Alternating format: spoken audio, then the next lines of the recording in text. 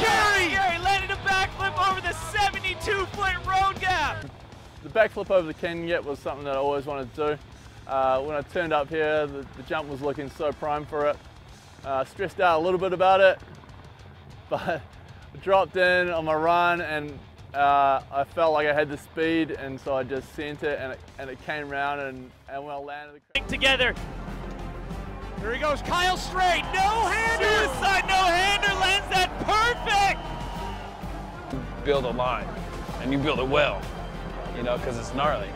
First game plan was to set myself up to be dialed into the big drop, and that's what we did. So that was the first time I hit that. line.